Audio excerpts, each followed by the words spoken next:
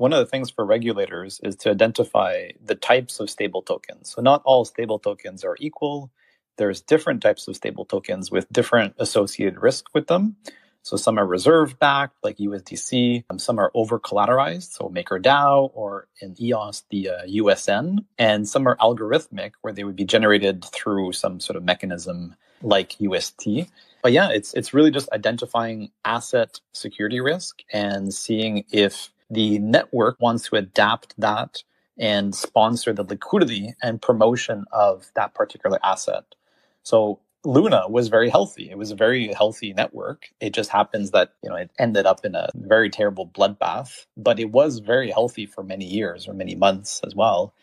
So it's really for Yield Plus, it will be to identify which assets are healthy for the network with a reasonable asset security risk. Um, like Tether is, let's say, uh, the most, the lowest risk asset that EOS can have. But there is other stable tokens that will be healthy. They're just going to have different risks and different sort of attack vectors. But I would say the over collateralized stable tokens are, let's say, the second tier of risk. So there's the reserved backed stable tokens. One dollar is in the bank account. You can redeem one one token for one dollar. And then you have the over collateralized stable tokens, which are still in a form a stable token, just have a little slightly different risk.